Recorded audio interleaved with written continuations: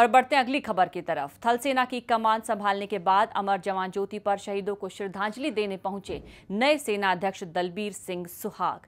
नए सेना अध्यक्ष हैं दलबीर सिंह सुहाग और जब उन्होंने पदभार संभाला तो सबसे पहले दलबीर सिंह सुहाग श्रद्धांजलि देने के लिए अमर जवान ज्योति पर पहुँचे। कल थल सेना अध्यक्ष विक्रम सिंह रिटायर हुए और उनकी जगह दलबीर सिंह सुहाग ने ये पदभार संभाला और कमान संभालने के बाद सबसे पहले उन्होंने शहीदों को नमन किया। वो अमर जवान ज्योति पर गए। उन्होंने शहीदों को श्रद्धांजलि दी।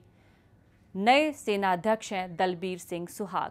आज से उन्होंने अपना पदभार ग्रहण कर लिया है। तो ये तस्वीर देखिए आप, जनरल विक्रम सिंह को भी आप देख रहे हैं और साथ ही दलबीर सिंह सुहाग को भी आप इस तस्वीर में देख पा रहे हैं। I can only tell you that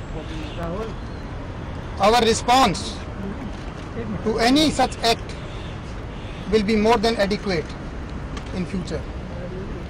Thank you. Thank you. And-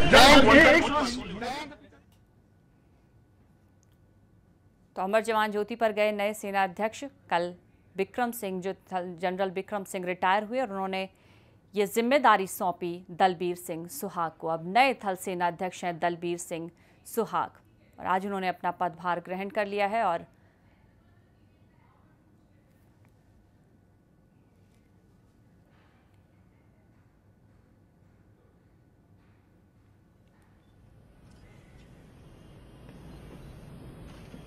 ये तस्वीरों में देखिए, अमर जवान ज्योति पर पहुँचे नए थल सेना अध्यक्ष दलबीर सिंह सुहाग।